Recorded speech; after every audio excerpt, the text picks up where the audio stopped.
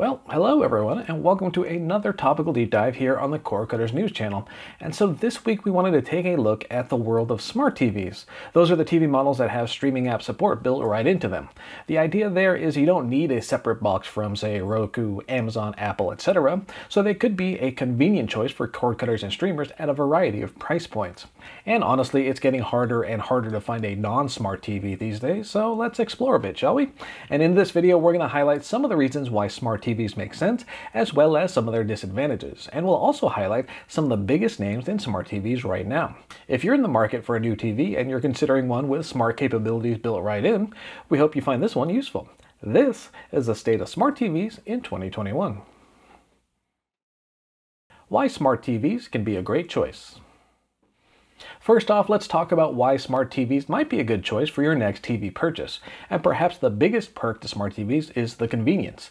Since smart TVs pack in some sort of streaming platform, you don't have to worry about hooking up an external device like a Roku Ultra or Apple TV to access your favorite apps. And that can be a great space saver since you don't have to dedicate shelf space for a separate device and you likely have fewer remote controls to deal with as well. And honestly, despite having access to an absurd amount of streaming devices in our household, we still use LG's built-in WebOS Smart TV platform for the vast majority of our streaming needs, and that's because of the convenience, and that includes using just the one remote control. However, there are still instances where we'll use other devices to access certain apps, which leads us to why smart TVs sometimes aren't the best choice why smart TVs can be a not so great choice. So yes, smart TVs are everywhere these days, and there's no shortage of choices on the market from a wide range of manufacturers. But there are instances where a given smart TV might not be the best choice for your particular streaming needs. For one, just like their dedicated device siblings, smart TV platforms all have their inherent strengths and weaknesses, and that can include things like varying levels of app support or performance issues. Sometimes pairing software with lower cost, lower performance TV hardware can result in a less than pleasant viewing experience. And for me personally, that's most often when I turn to an external device rather than my LG OLED's built-in WebOS software. Certain apps like Sling or Pluto TV, for example, simply run better and more smoothly on other hardware that I have access to. And just like external streaming devices, smart TV performance might be concerned over time. So maybe your smart TV software worked just fine for the first few years, but as apps have gotten more complex, overall performance might feel slower over time. In that case, you might feel a need to upgrade, or if the TV itself is doing just fine as, you know, a TV, maybe resorting to an external streaming device to serve up those apps. And you may also find yourself in a situation where there's a specific TV with specs and performance you really like, but you're not a fan of the built-in smart TV software. Conversely, you could find yourself really liking a specific smart TV platform like Roku TV or Fire TV, for example, but you can't quite find a supported TV model with the hardware specs you're looking for so you might find yourself buying a smart TV more for its hardware capabilities and just bypassing the built-in software altogether and going with a Roku Ultra, Nvidia Shield TV Pro, or any number of external devices instead. And with all of that being said, let's take a look at some of the top names in smart TVs right now, starting with a brand that should be very familiar to streaming fans out there. Roku TV include.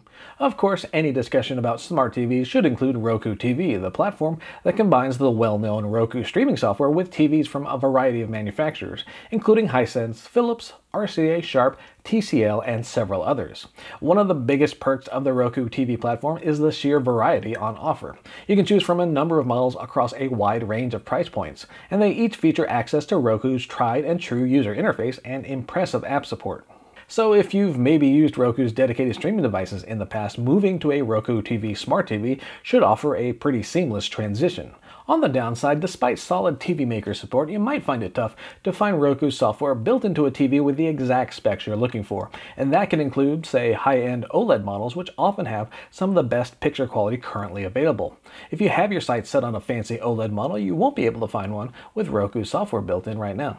Of course, if you still want that Roku user interface and app support, the company will happily sell you a standalone device, but as far as Roku TVs go, your best bet is in the lower cost to mid-range televisions.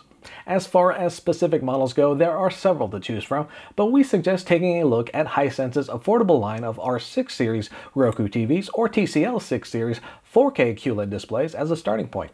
Fire TV. Like Roku TV, Amazon's Fire TV platform also enjoys some solid TV Maker support with companies like JVC, Toshiba, and Westinghouse on board.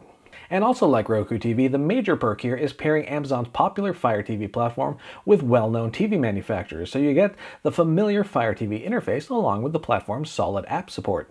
Also like Roku TV, the Fire TV models on the market now are mainly LCD options rather than the higher-end OLED displays. Now to be fair, there is a German TV maker that does produce an OLED TV with Fire TV software built in, but here in the US you're mainly going to find LCD models on offer and those often range from low-cost budget models to mid-range and higher-end non-OLED TVs. And again, there are plenty of models to choose from, but we'd recommend starting your Fire TV search with Toshiba's C350 line, which includes 43, 50, and 55-inch models. Android TV. Another smart TV platform with solid TV Maker support comes from Google. It's the company's Android TV platform, which you'll find support for from a number of familiar names, including ones we've already discussed here. So if you're currently shopping for an Android-powered smart TV, you can select models from makers like Panasonic, Philips, Sharp, Sony, TCL, Toshiba, and several others. Besides Android TV's robust app support, another thing the Smart TV platform has going for it is support for higher-end displays. So if you are looking for an OLED TV with Android software built in, you have some choices, courtesy of Sony and its growing line of OLED TVs. Now, like most OLEDs on the market, these aren't exactly budget price models, but if you want top shelf display quality and Android TV software, you definitely have some options. Of course, you can also choose from more budget-oriented models, as well as mid-range options that balance price and features. Overall, we'd suggest including TCL's 4 series in your search if you're looking for an affordable Android TV. And maybe check out Sony's A80J if you're looking for an OLED option. Tizen. And then we get into smart TV platforms that are tied to specific manufacturers. For instance, there's Samsung, who makes a wide, wide range of TVs at all manner of price points and leverages the Tizen platform for its smart TV models. And like other smart TV platforms, Tizen offers up solid app support, and Samsung's been working hard to increase its value as a content hub for all your streaming needs. So yes, manufacturer choices are more limited than say Fire TV, Android TV, or Roku TV, but there is a ton of choice within Samsung's lineup. At the more affordable end, we suggest checking out the AU8000 line. And for folks looking for high-end displays, the company's QN90A QLED line is a great place to start. Web OS. LG, LG is another major TV maker that's been going its own route as far as smart TV software goes, and in this case the company uses WebOS for its LCD and OLED displays. Like Tizen, you'll find solid app support, though perhaps not as robust as you might find on Roku or Fire TV. For instance, Pluto TV only recently made an appearance on WebOS TVs. So like other platforms, it pays to make sure your favorite apps are supported ahead of time. But as far as hardware options go, LG similarly offers a wide range of choices from low-cost models to ultra high-end displays. At the budget end, check out the UP7000 series of LCD TVs. If you're looking for something more advanced, the C1 line of OLED TVs offers impressive specs and picture quality. SmartCast Last but not least, we have Vizio and its SmartCast line of TVs. And again, like Samsung and LG, there is solid app support to be found here, especially when it comes to big name services like Netflix, Hulu, and Prime Video. However, there's currently no HBO Max app available for SmartCast, for example, though Vizio says you can get around that by loading up the app on your mobile device and then casting it to your TV via Apple AirPlay or Google Chromecast. And you might also find some smaller apps aren't quite yet supported on the platform just yet. We often post updates on cordcuttersnews.com about popular apps arriving on smart TV platforms, and those sometimes come months after a particular app has been on services like Roku or Fire TV. So keep an eye out for app support updates for sure. On the bright side, SmartCast is available on Vizio's expansive range of TVs, ranging from budget 1080p displays to higher-end LCDs and more recently OLED TVs as well. On the lower end, take a look at the company's V-Series and M-Series of TVs. Meanwhile, the high end has options like 55 or 65-inch Vizio OLED TVs to choose from. Wrapping it all up.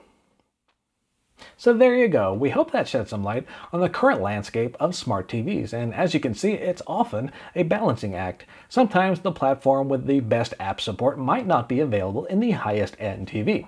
Conversely, that high-end luxury price display might not come back in the streaming platform you're most comfortable with.